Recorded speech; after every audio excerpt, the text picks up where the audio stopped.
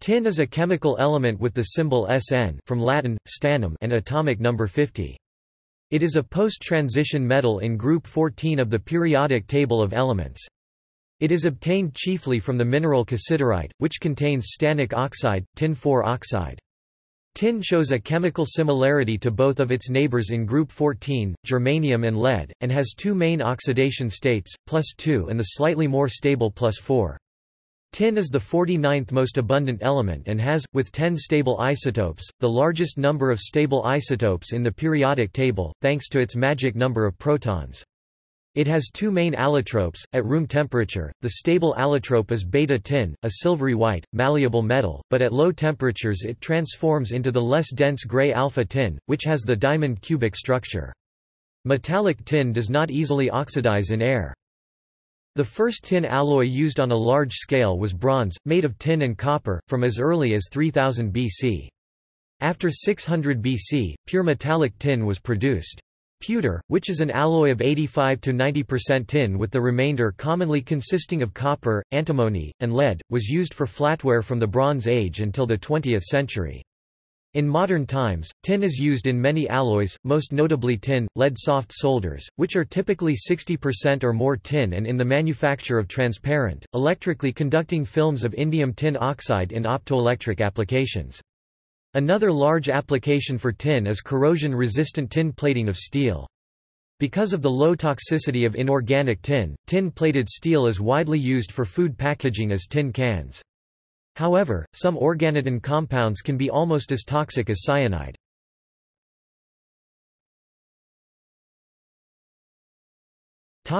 Characteristics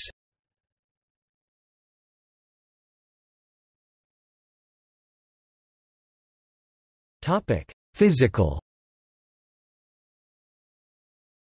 Tin is a soft, malleable, ductile and highly crystalline silvery white metal. When a bar of tin is bent, a crackling sound known as the tin cry can be heard from the twinning of the crystals. Tin melts at low temperatures of about 232 degrees Celsius 450 degrees Fahrenheit, the lowest in group 14. The melting point is further lowered to 177.3 degrees Celsius 351.1 degrees Fahrenheit for 11 nanometers particles. Beta tin the metallic form, or white tin, BCT structure, which is stable at and above room temperature, is malleable. In contrast, alpha tin nonmetallic form, or gray tin, which is stable below 13.2 degrees Celsius 55.8 degrees Fahrenheit, is brittle. Alpha tin has a diamond cubic crystal structure, similar to diamond, silicon or germanium. Alpha tin has no metallic properties at all because its atoms form a covalent structure in which electrons cannot move freely. It is a dull gray powdery material with no common uses other than a few specialized semiconductor applications. These two allotropes, alpha tin and beta tin, are more commonly known as gray tin and white tin, respectively. Two more allotropes, gamma and sigma, exist at temperatures above 161 degrees Celsius (322 degrees Fahrenheit) and pressures above several GPa. In cold conditions, beta tin tends to transform spontaneously into alpha tin, a phenomenon known as tin pest. Although the alpha-beta transformation temperature is nominally 13.2 degrees Celsius (55.8 degrees Fahrenheit), impurities e.g. Al, Zn, etc. lower the transition temperature well below 0 degrees Celsius 32 degrees Fahrenheit and, on the addition of antimony or bismuth, the transformation might not occur at all, increasing the durability of the tin. Commercial grades of tin 99.8% resist transformation because of the inhibiting effect of the small amounts of bismuth, antimony, lead, and silver present as impurities. Alloying elements such as copper, antimony, bismuth, cadmium, and silver increase its hardness. Tin tends rather easily to form hard, brittle intermetallic phases, which are often undesirable. It does not form wide solid solution ranges in other metals in general, and few elements have appreciable solid solubility in tin. Simple eutectic systems, however, occur with bismuth, gallium, lead, thallium and zinc. Tin becomes a superconductor below 3.72 K and was one of the first superconductors to be studied. The Meissner effect, one of the characteristic features of superconductors, was first discovered in superconducting tin crystals.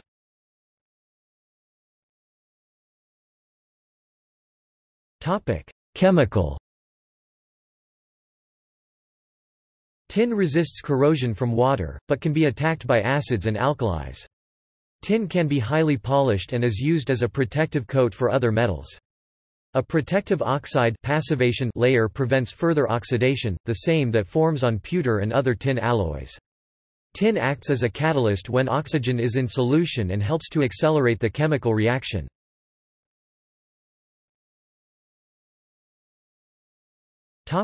Isotopes Tin has 10 stable isotopes, with atomic masses of 112, 114 through 120, 122 and 124, the greatest number of any element. Of these, the most abundant are 120 SN almost a third of all tin, 118 SN, and 116 SN, while the least abundant is 115 SN. The isotopes with even mass numbers have no nuclear spin, while those with odd have a spin of plus one half. Tin, with its three common isotopes 116 SN, 118 SN and 120 SN, is among the easiest elements to detect and analyze by NMR spectroscopy, and its chemical shifts are referenced against SNME4. This large number of stable isotopes is thought to be a direct result of the atomic number 50, a magic number in nuclear physics. Tin also occurs in 29 unstable isotopes, encompassing all the remaining atomic masses from 99 to 137. Apart from 126 SN, with a half-life of 230,000 years, all the radioisotopes have a half-life of less than a year. The radioactive 100 SN, discovered in 1994, and 132 SN are one of the few nuclides with a doubly magic Nucleus, despite being unstable, having very lopsided proton-neutron ratios, they represent endpoints beyond which stability drops off rapidly. Another 30 metastable isomers have been characterized for isotopes between 111 and 131, the most stable being 121 MSN with a half-life of 43.9 years. The relative differences in the abundances of tin's stable isotopes can be explained by their different modes of formation in stellar nucleosynthesis. 116 SN through 120 SN inclusive are formed in the S process, slow neutron capture, in most stars and hence they are the most common isotopes while 122 SN and 124 SN are only formed in the R process rapid neutron capture in supernovae and are less common. The isotopes 117 SN through 120 SN also receive contributions from the R process. Finally, the rarest proton-rich isotopes, 112 SN, 114 SN, and 115 SN, cannot be made in significant amounts in the S or R processes and are considered among the p nuclei, whose origins are not well understood yet.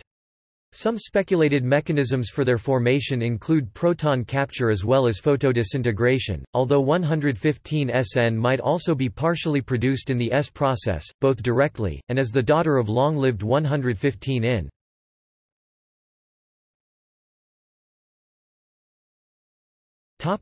Etymology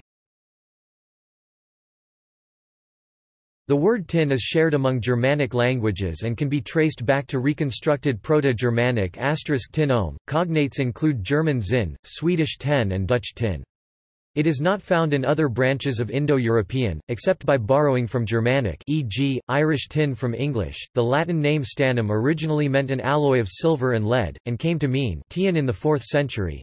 The earlier Latin word for it was plumbum candidum, or white lead. Stannum apparently came from an earlier stagnum meaning the same substance, the origin of the Romance and Celtic terms for tin.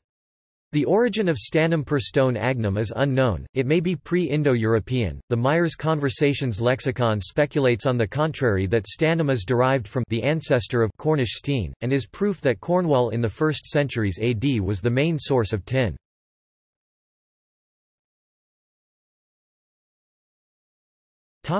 History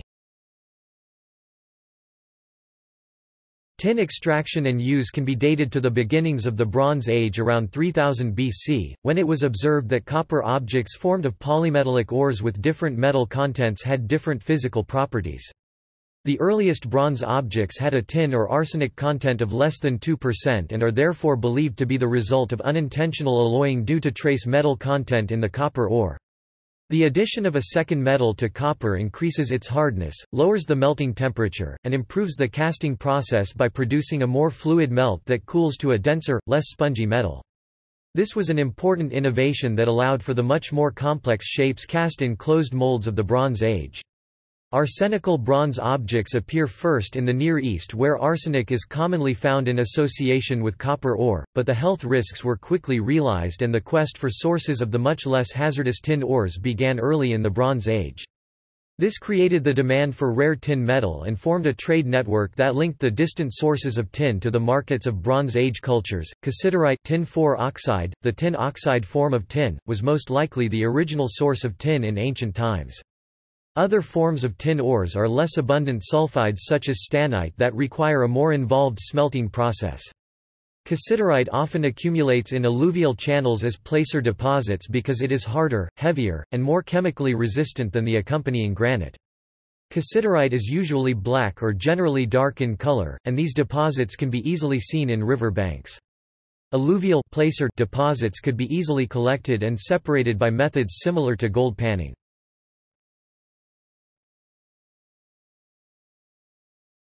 Topic: Compounds and chemistry. In the great majority of its compounds, tin has the oxidation state 2 or IV.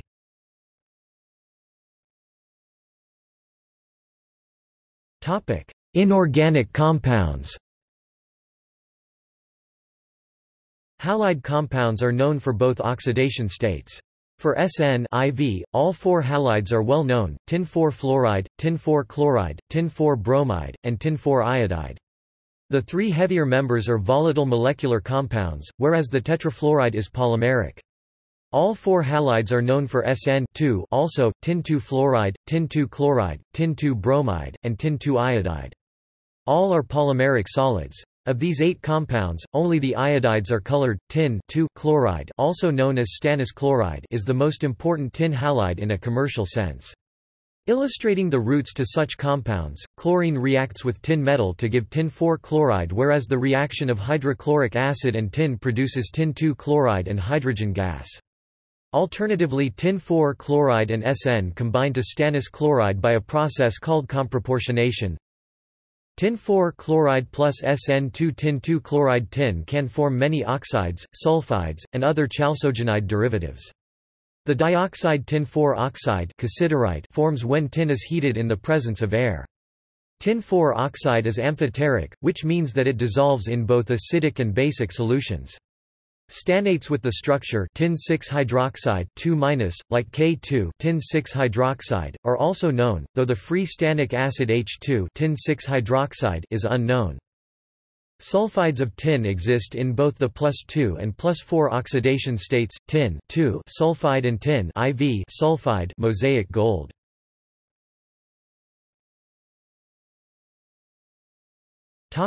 Hydrides Stannane tin hydride, with tin in the plus 4 oxidation state, is unstable. Organotin hydrides are however well known, e.g. tributyltin hydride SN C4H9 3H. These compound release transient tributyl tin radicals, which are rare examples of compounds of tin 3.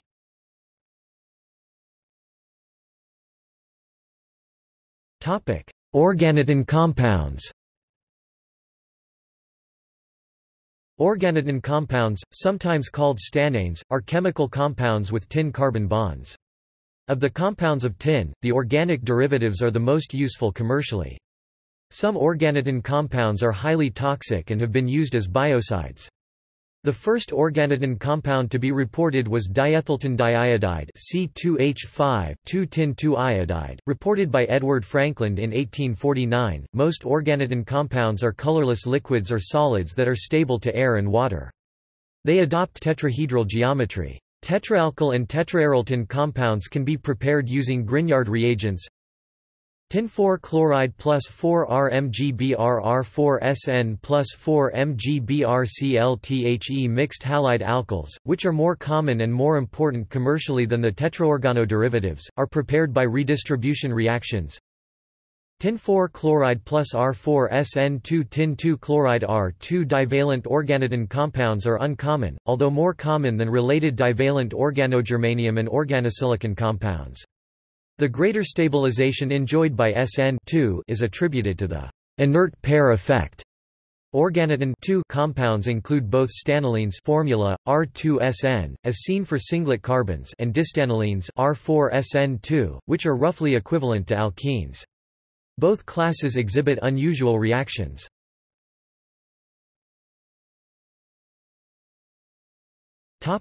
Occurrence Tin is generated via the long S process in low to medium mass stars with masses of 0.6 to 10 times that of Sun, and finally by beta decay of the heavy isotopes of indium. Tin is the 49th most abundant element in Earth's crust, representing 2 ppm compared with 75 ppm for zinc, 50 ppm for copper, and 14 ppm for lead. Tin does not occur as the native element but must be extracted from various ores. Cassiterite tin oxide is the only commercially important source of tin, although small quantities of tin are recovered from complex sulfides such as stannite, cylindrite, franckeite, canfieldite, and teallite. Minerals with tin are almost always associated with granite rock, usually at a level of 1% tin oxide content. Because of the higher specific gravity of tin dioxide, about 80% of mined tin is from secondary deposits found downstream from the primary lodes. Tin is often recovered from granules washed downstream in the past and deposited in valleys or the sea. The most economical ways of mining tin are by dredging, hydraulicking, or open pits. Most of the world's tin is produced from placer deposits, which can contain as little as 0.015% tin. About 253,000 tons of tin have been mined in 2011, mostly in China 110,000 t, Indonesia 51,000 t, Peru 34,600 t, Bolivia 20,700 t, and Brazil 12,000 t. Estimates of tin production have historically varied with the dynamics of economic feasibility and the development of mining technologies, but it is estimated that, at current consumption rates and technologies, the Earth will run out of mine-able tin in 40 years. Lester Brown has suggested tin could run out within 20 years based on an extremely conservative extrapolation of 2% growth per year. Secondary, or scrap, tin is also an important source of the metal. Recovery of tin through secondary production, or recycling of scrap tin, is increasing rapidly. Whereas the United States has neither mined since 1993 nor smelted tin since 1989, it was the largest secondary producer, recycling nearly 14,000 tons in 2006. New deposits are reported in southern Mongolia, and in 2009, new deposits of tin were discovered in Colombia by the Seminole Group Colombia C. SAS.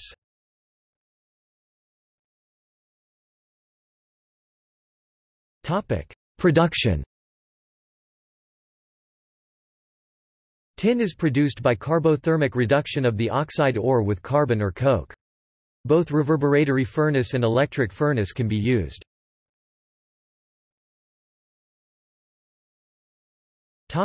Mining and smelting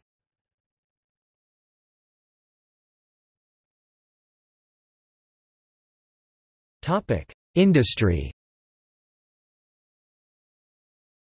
The ten largest companies produced most of the world's tin in 2007. Most of the world's tin is traded on the London Metal Exchange LME, from eight countries, under 17 brands. An International Tin Council was established in 1947 to control the price of tin, until it collapsed in 1985. In 1984, an association of tin-producing countries was created, with Australia, Bolivia, Indonesia, Malaysia, Nigeria, Thailand, and Zaire as members.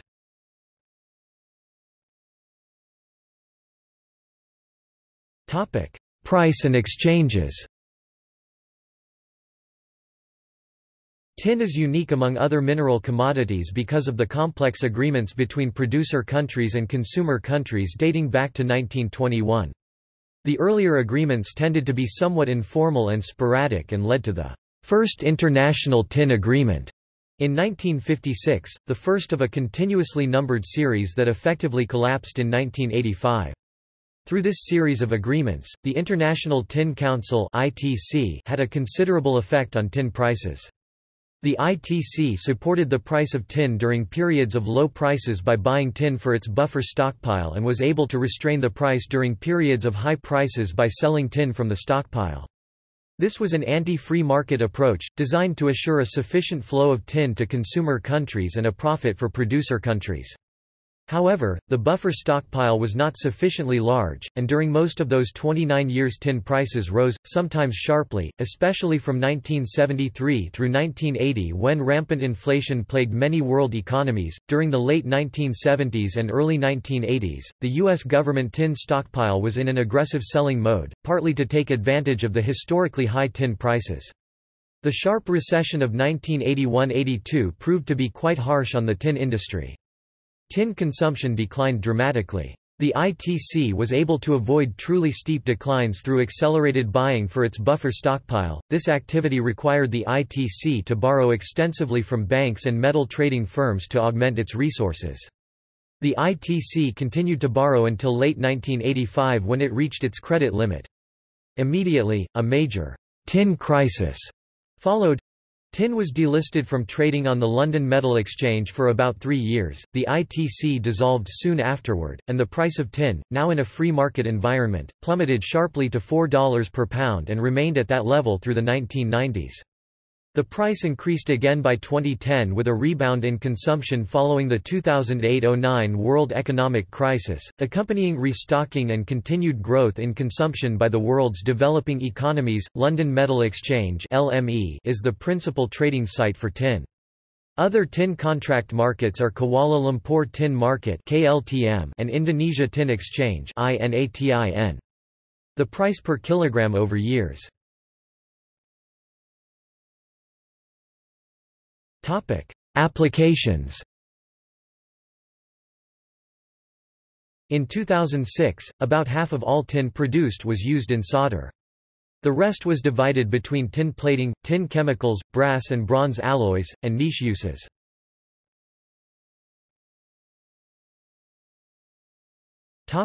Solder Tin has long been used in alloys with lead as solder, in amounts 5 to 70% with W. Tin with lead forms a eutectic mixture at the weight proportion of 61.9% tin and 38.1% lead the atomic proportion, 73.9% tin and 26.1% lead, with melting temperature of 183 degrees Celsius 361.4 degrees Fahrenheit. Such solders are primarily used for joining pipes or electric circuits. Since the European Union Waste Electrical and Electronic Equipment Directive WEEE directive and Restriction of Hazardous Substances Directive came into effect on 1 July 2006, the lead content in such alloys has decreased. Replacing lead has many problems, including a higher melting point, and the formation of tin whiskers causing electrical problems. Tin pest can occur in lead-free solders, leading to loss of the solder joint. Replacement alloys are rapidly being found, although problems of joint integrity remain.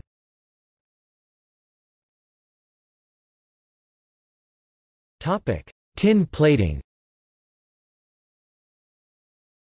Tin bonds readily to iron and is used for coating lead, zinc and steel to prevent corrosion. Tin-plated steel containers are widely used for food preservation, and this forms a large part of the market for metallic tin. A tinplate canister for preserving food was first manufactured in London in 1812. Speakers of British English call them tins, while speakers of American English call them cans or tin cans. One derivation of such use is the slang term tinny or tinnie, meaning can of beer. In Australia, the tin whistle is so called because it was first mass-produced in tin-plated steel. Copper cooking vessels such as saucepans and frying pans are frequently lined with a thin plating of tin, since the combination of acid foods with copper can be toxic.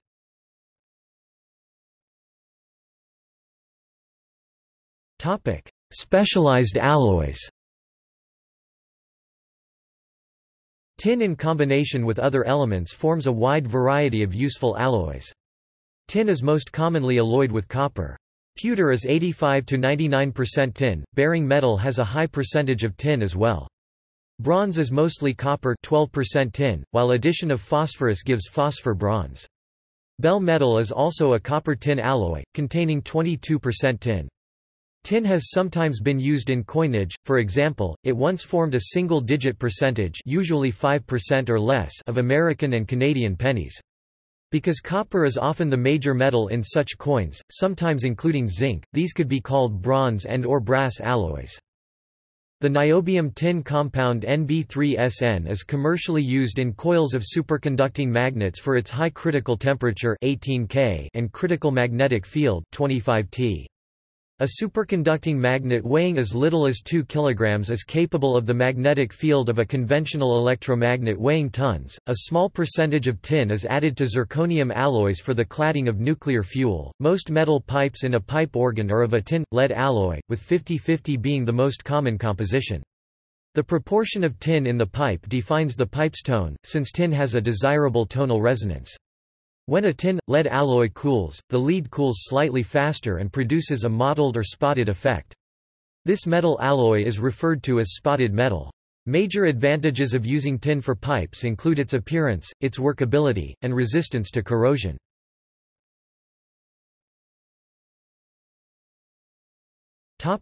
Optoelectronics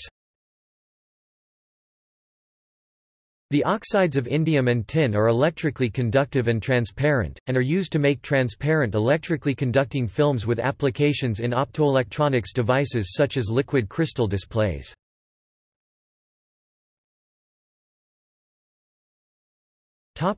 Other applications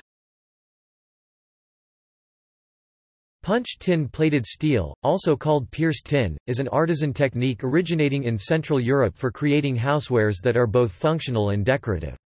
Decorative piercing designs exist in a wide variety, based on local tradition and the artisan's personal creations. Punched tin lanterns are the most common application of this artisan technique. The light of a candle shining through the pierced design creates a decorative light pattern in the room where it sits. Lanterns and other punched tin articles were created in the New World from the earliest European settlement. A well-known example is the Revere lantern, named after Paul Revere. Before the modern era, in some areas of the Alps, a goat or sheep's horn would be sharpened and a tin panel would be punched out using the alphabet and numbers from 1 to 9. This learning tool was known appropriately as the horn. Modern reproductions are decorated with such motifs as hearts and tulips. In America, pie safes and food safes were in use in the days before refrigeration. These were wooden cupboards of various styles and sizes, either floor standing or hanging cupboards meant to discourage vermin and insects and to keep dust from perishable foodstuffs. These cabinets had tin plate inserts in the doors and sometimes in the sides, punched out by the homeowner, cabinetmaker or a tinsmith in varying designs to allow for air circulation while excluding flies. Modern reproductions of these articles remain popular in North America. Window glass is most often made by floating molten glass on molten tin float glass, resulting in a flat and flawless surface. This is also called the Pilkington process. Tin is also used as a negative electrode in advanced Li-ion batteries. Its application is somewhat limited by the fact that some tin surfaces catalyze decomposition of carbonate-based electrolytes used in Li-ion batteries. Tin fluoride is added to some dental care products as stannous fluoride, tin fluoride. Tin fluoride can be mixed with calcium abrasives while the more common sodium fluoride gradually becomes biologically inactive in the presence of calcium compounds. It has also been shown to be more effective than sodium fluoride in controlling gingivitis.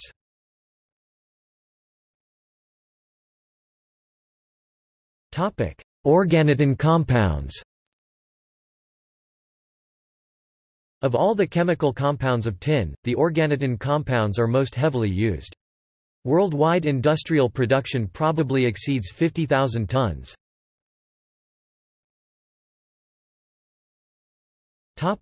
PVC stabilizers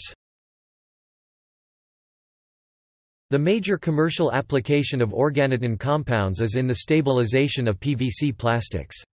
In the absence of such stabilizers, PVC would otherwise rapidly degrade under heat, light, and atmospheric oxygen, resulting in discolored, brittle products. Tin scavenges labile chloride ions Cl-, which would otherwise initiate loss of HCl from the plastic material. Typical tin compounds are carboxylic acid derivatives of dibutyltin dichloride, such as the dilaurate.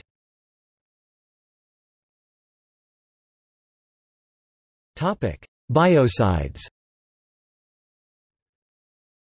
Some organotin compounds are relatively toxic, with both advantages and problems.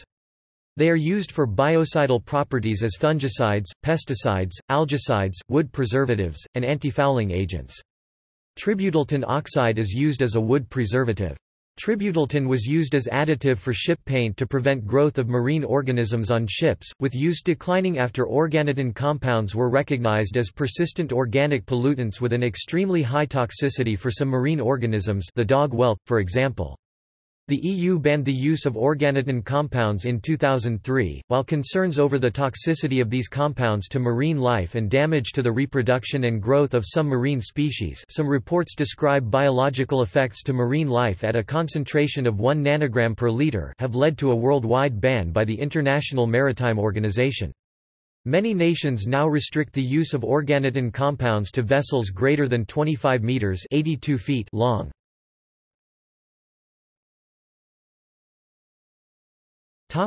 Organic chemistry Some tin reagents are useful in organic chemistry. In the largest application, stannous chloride is a common reducing agent for the conversion of nitro and oxime groups to amines. The Stille reaction couples organotin compounds with organic halides or pseudohalides.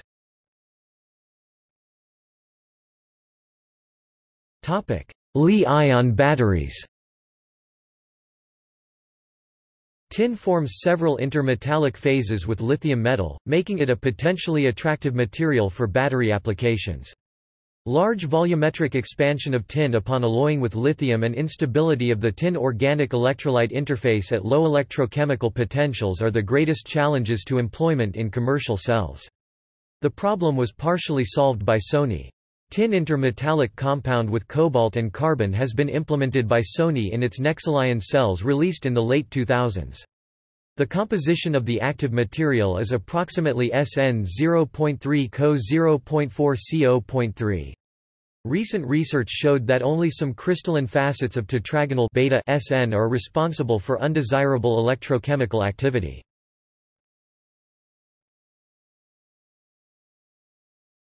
Topic: Precautions Cases of poisoning from tin metal, its oxides, and its salts are almost unknown. On the other hand, certain organotin compounds are almost as toxic as cyanide. Exposure to tin in the workplace can occur by inhalation, skin contact, and eye contact. The Occupational Safety and Health Administration (OSHA) has set the legal limit, permissible exposure limit for tin exposure in the workplace as 2 mg per cubic meter over an 8-hour workday. The National Institute for Occupational Safety and Health (NIOSH) has determined a recommended exposure limit (REL) of 2 mg per cubic meter over an 8-hour workday. At levels of 100 mg per cubic meter, tin is immediately dangerous to life and health.